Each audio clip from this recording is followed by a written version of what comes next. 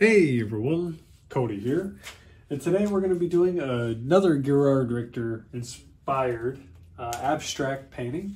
We're going to be using black, white, red, and gold because that's like literally my one of my favorite uh, color schemes. I mean, really, red, black, and white is. And then if you add like blue or gold, it's kind of solid. I, I just like that color scheme a lot. So now we're going to do a couple things differently. Uh, first off, I finally put some thumbtacks into my little table here, so hopefully that simple solution will will keep the uh, the canvas in place so that when I scrape it, I don't have to like sit there and hold it like I did the last couple videos.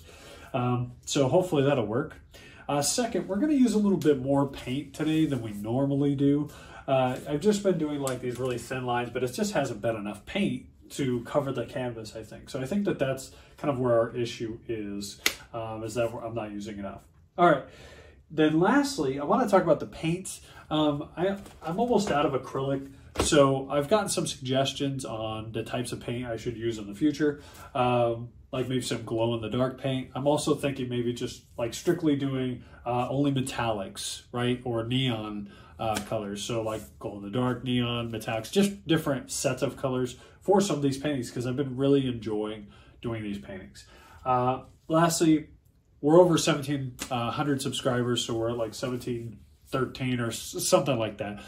At 1750, I am going to do another Pollock style painting. Uh, so probably in the next week or two. So I will announce uh, when I'm going to do that uh, when we do. So very soon, very soon. All right, so let's go ahead and jump in. We've got our paints here. I think you can see those paints, right? So I'm gonna put those up there and then we've got gold here. And I'm not gonna base the background. I'm not gonna do a base coat on the background. We're just gonna go ahead and get right into it. So I'm gonna scrape the whole painting this way today. I might, I'm gonna rotate it, but um, we're just going to go uh, downwards, like towards us, uh, because that's where the thumbtacks are. So we're gonna go ahead and start by putting our red on here. And again, we're going to do a pretty thick layer as opposed to normal where I just kind of do a really thin layer. And I think honestly that that's been my issue this whole time is I just haven't been doing enough paint per layer. And that's why I'm not getting um, enough coverage, honestly. So we've got our red on there. So we're gonna take our scraper, our plexiglass, and then we're gonna take that paint and we're gonna push it back to the edge so that you can see that you know, the edge is covered here, uh, so we don't have the white there. And then once we have that there, now we're gonna pull this paint all the way through the painting. And we're just kind of pulling it really slowly, really slowly.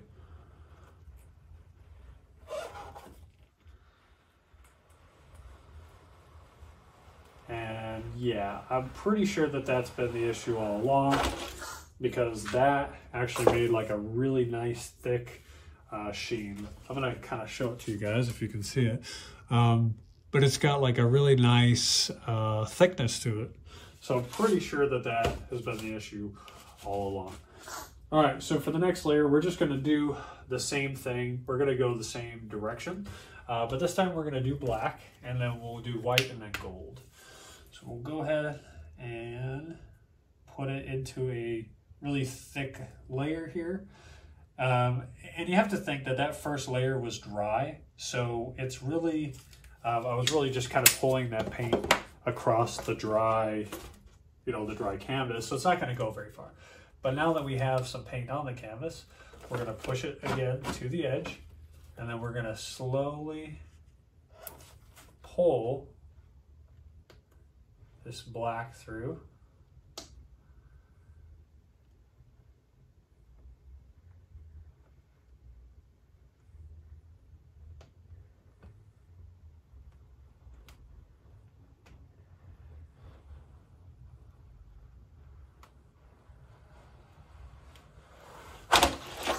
All right, so I actually have a pretty cool effect um, going on here. I really actually like those waves a lot. Um, but we're gonna keep going and we're gonna we're gonna actually rotate it. So now we're gonna turn it this way and we're going to put the white on there and we're gonna pull it downwards and then maybe with the gold we'll kind of go back this way. I don't want to keep flipping it going different directions. The problem with that is that then they'll they'll start to mix because uh, you're going against the the initial way you were going. So it starts to like mix those colors.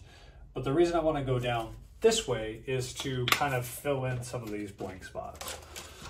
So we're gonna take that white, we're gonna push it out to the edge, and then we're really gonna just push into the paint to try to spread it as far as we can.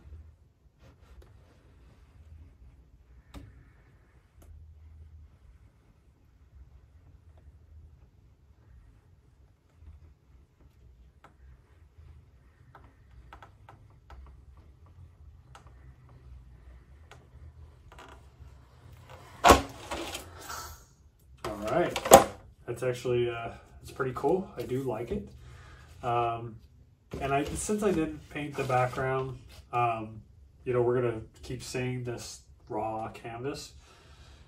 If I had painted the background, you know, that actually wouldn't be an issue. So that is kind of on me for for not doing that.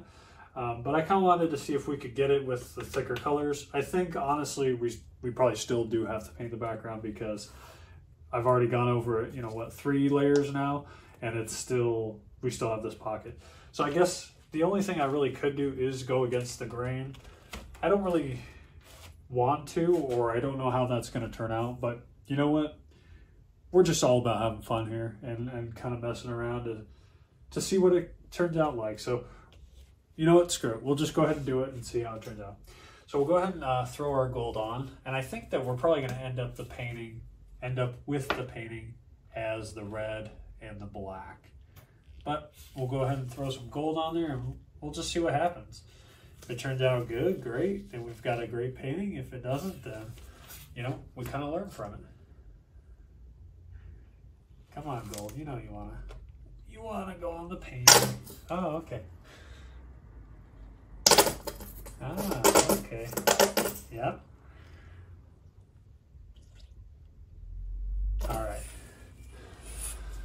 Uh, maybe I'll put this paint upside down so it can kind of drop through. All right, so again, take our scraper, push the gold to the edge so you can see that it's there, and then pull it through.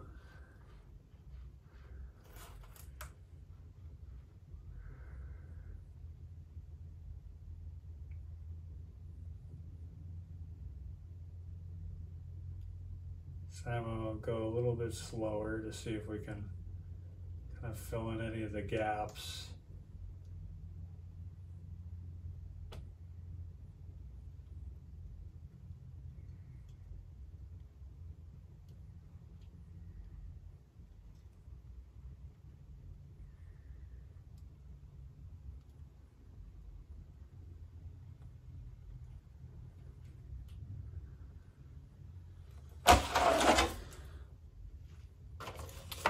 Okay, so we have a lot of color variation here and we did fill in all the gaps. So now the whole painting is covered. Um, however, now we're starting to run into an issue. Because we've run over it so many times, um, I'm gonna, I'm gonna hold it up to you guys to see if you can see these little ripples here. The red and like pink right here uh, towards the bottom. You kind of see like there's these little weird ripples. It almost looks like the skin that would grow on like milk. And that happens when the binders of the paint start to rip apart. Um, this usually comes from over scraping um, or pushing down too hard on the paint over and over again. You know, if this was higher quality paint, you would you may not see that as much, but I think even on higher quality paint, you, you'd still see it to some degree. Um, so what we're gonna do is we're going to go ahead and we're gonna put the we're going to do the red and then the black one last time, but we're not going to crush the paint anymore because we've got uh, we've got our layers. We've got uh, enough paint on here that you know the, the background is covered. So we're going to go ahead and run black down the top. And then we're going to finish with red um, going the other direction. So we're just going to put the thick layer of, of black to kind of finish off the uh, this layer here. All right, I think that's good.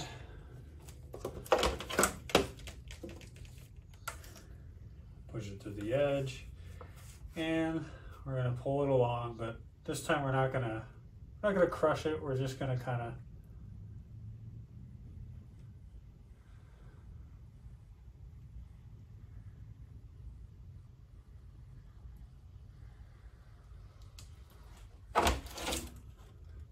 All right, well, we've lost the black. We, uh, we've overscraped too many times.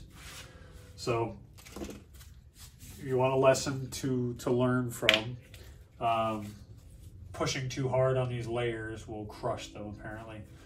And, you know, even doing these paintings, I, I don't know everything about them. I'm still learning them as we go. So you're kind of learning with me. Um, so apparently if you, you know, push them too hard, you crush that paint and it, and it breaks the binders. So, I mean, it's good for, for you to know if you ever want to do these paintings. So we'll just kind of pull this through, see if we can get something salvageable out of it.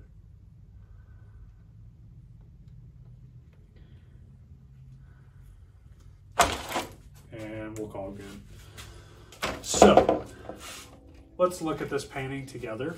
Um, it's kind of a terrible mess and I hate it.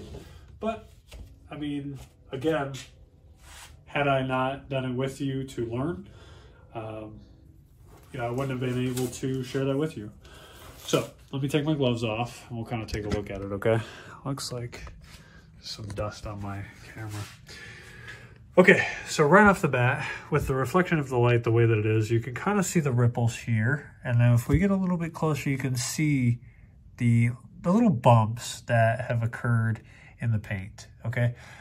And again, I'm pretty sure that's from the binders breaking apart in the paint because we've crushed it. So we basically, what happened is, or at least I believe, is that we've pushed it so hard that we crushed the paint and then ripped it apart. So we, we pulled those binders apart because we pushed so hard.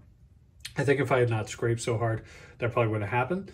So that's a lesson learned on my end. You know, I, I didn't uh, know that. I've, I've seen it happen, but I didn't know exactly what caused it, but I'm pretty sure in doing that, um, that's when that started to occur was when I pushed harder into it. So just a note for you guys, something to learn from if you want to make these, you know, Richter style painting inspired. I always say in style, inspired or Richter style. Oh gosh, I'm going to go to bed. Um, these, this style of painting, uh, don't push too hard or, or it breaks those binders or use maybe uh, super expensive paint, but not everybody can afford that. And, uh, it may still do it to expensive paint. So, you know, the, the goal here apparently is not to, to crush the paint, um, but to, you know, give it enough that it covers the whole thing. So I'm going to recommend that, you know, you pick the background because if you don't paint the background, you're going to see that white uh, come through the painting for a, a long time. Unless you're going for the white, then that's cool. But, you know, if you're not and you don't want to see that raw canvas show through, base coat the background, I mean, even Richter does that, and I just kind of didn't because I wanted to see, you know, if we could just stack the layers. But apparently, if you try to do that too much, it, it messes it up. So anyway, uh, I would say that this was not a successful painting. It looks kind of cool on the surface, but I would definitely not try to sell this thing. You know, it's got a lot of flaws, and I just don't like the color scheme that kind of came out of it. So overall, I would say not successful for me, but uh, again, a learning process. So we got to learn together. Anyway, I hope you enjoyed that video. I will uh, see you guys in the next one and hopefully won't make the same mistake again. I might even use the same colors and we'll try it again or, you know, we'll do something different. We'll see. Anyway, guys, thanks for watching. Take care. God bless and see you in the next one.